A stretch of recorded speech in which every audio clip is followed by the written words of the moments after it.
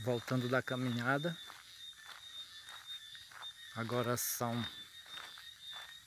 10 para as 19 horas. E aqui estou chegando no Café da Roça, município de Pinhum, Tocantins.